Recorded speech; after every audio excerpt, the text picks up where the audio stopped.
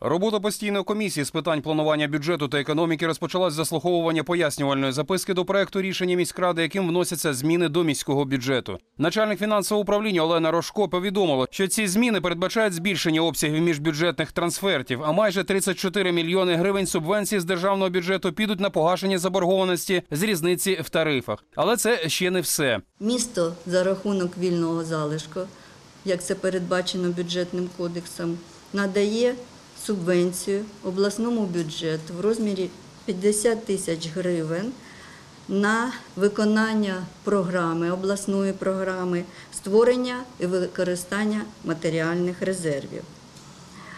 Крім того, е, передбачаються 3 тисячі гривень коштів депутатів е, на виконання доручень е, депутатів обласної ради, це Жаботинського, на надання матеріальної допомоги мешканцям міста.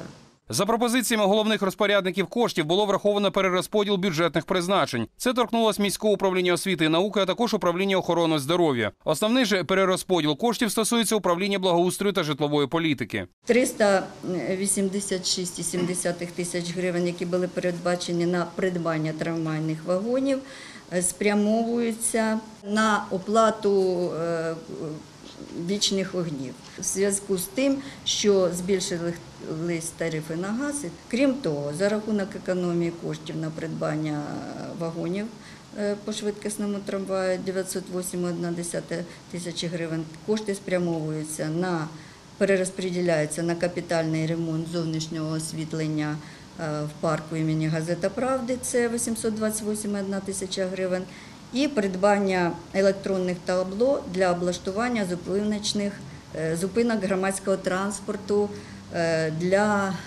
комунального підприємства міський тролейбус. Це 80 тисяч гривень.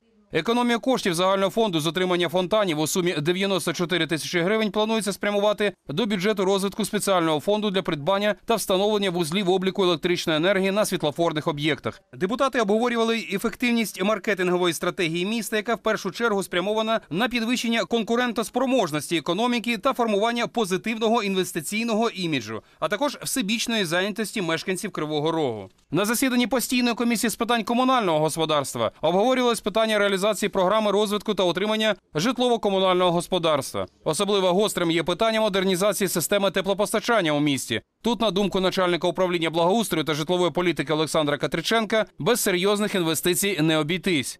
Йдуть перемовини із е, інвестицій, міжнародним інвестиційним банком і банком реконструкції і розвитку для того, щоб залучити в першу чергу це кредитні кошти для розвитку для реалізації цих проєктів. Потім е, кошти потенціальних інвесторів, тому що все більше і більше інвесторів сьогодні цікавляться, що можна робити, яким чином можна це працювати. Тому цю програму просто-напросто вноситься доповнення для того, щоб збільшити способи виконання цієї реалізації цієї програми. На засіданні йшлося і про необхідність реконструкції мереж зовнішнього освітлення, розширення дороги по Нікопольському шосе у бік Запоріжжя та ефективність роботи підприємств з надання житлово-комунальних послуг мешканцям міста.